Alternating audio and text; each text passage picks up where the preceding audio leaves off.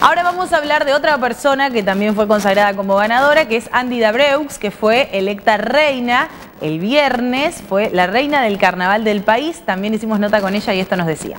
Si bien yo soy de Concepción del Uruguay, vivo en Gualeguaychú desde chiquita, somos ciudades hermanas, así que venía siempre. Eh, conozco el carnaval en 2015 como espectadora. A partir de ahí, eh, bueno, lo viví con amigos y con integrantes que también formaban parte de otras comparsas, fue increíble la experiencia. Me obsesioné, vine todos los años hasta 2017 que también mediante amigos generé un vínculo con Arayeví y empecé a salir como integrante. Eh, y nada, año a año, justo me tocó el, tetracampeonato de Arayeví de la mano de Leo, así que me dio la posibilidad de generar esta continuidad. Arranqué saliendo bueno, estandarizada y después eh, como bastonera, después pasé solista, estuvo buenísimo porque fui generando por ahí eh, un camino que me permitió transitar el corsódromo poco a poco de otra manera y generar un poco más de confianza. Y en julio del año pasado, de 2022, me llama Leo, me, invita a ser la reina de la GV 2023. Un placer, vine, charlé con él, eh, nos pusimos de acuerdo también en cómo íbamos a llevar adelante esto.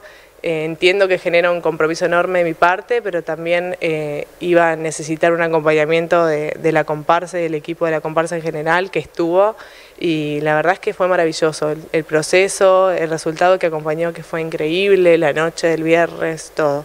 Yo soy organizadora de eventos, eh, vivo en la ciudad de Rosario hace 11 años más o menos. Me dio la posibilidad este año eh, el reinado, de, además de generar vínculos, que fue algo increíble, que no, no dimensionaba, creo, un poco eh, esto, por ahí de conocer gente, de, de, poder conocer el carnaval ya desde otra mirada. también vivirlo desde la parte organizativa, me pareció súper interesante, me encantaría eh, llenarme de información y empezar a, meterme un poco más en ese tema. Es el segundo año que se vive eh, el carnaval con las cinco comparsas. ¿Cómo fue para vos esta experiencia?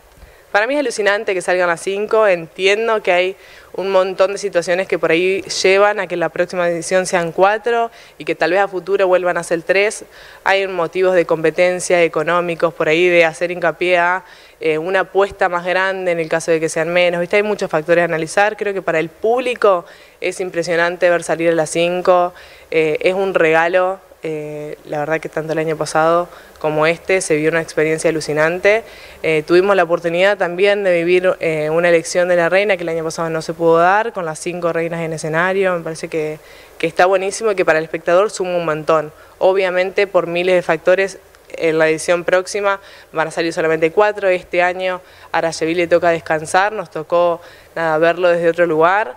Eh, también fue un fin de semana lleno de emociones en relación a eso, por ahí arrancamos muy arriba el viernes eh, y nos tocó por ahí el sábado vivir esta noticia y analizar también qué errores eh, cometimos, qué cosas podemos mejorar para las próximas ediciones.